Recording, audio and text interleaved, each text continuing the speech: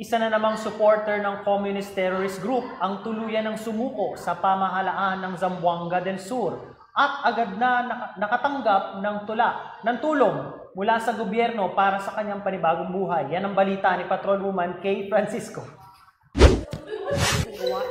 gawa ng mga operasyon ng kontrabensya ng mga kapulisan sa Mahayag Municipal Police Station katuwang ang 1st Zamboanga del Sur Police Mobile Force Company at Zamboanga del Sur Police Intelligence Unit ay tuluyang napasukong isang supporter ng Communist Terrorist Group. Kinilala ng mga kapulisan ang sumuko na supporter na si Elias Pasio, 62 taong gulang at residente ng Purok 6 Barangay Buniao, Mahayag, Zamboanga del Sur, na miyembro ng hingpit organisadong masa o Trusted Strong Mass Supporter sa Sangay Partido sa lokalidad. Ang nasabing sumukong miyembro ay binigyan ng food packs at cash assistance pagkatapos ng kanyang panunumpa na panunumpalik sa gobyerno na pinangunahan ng Municipal Task Force ng ALCAC bilang solemnizing officer at pinalaya na malusog ang kondisyon ng pangangatawan. Dahil rito, hinimok pa ng mga kapulisan ang mga natitirang miyembro ng NPA na sumuko at gamitin ang tulong na inaalok ng gobyerno sa pamamagitan ng e-clip at iba programa ng kasalukuyang administrasyon upang matulungan silang magkaroon ng bagong pananaw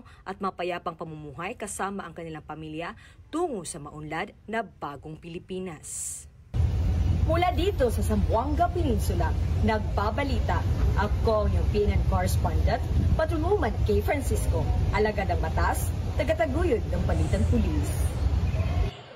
Maraming salamat, Patrol Woman Francisco.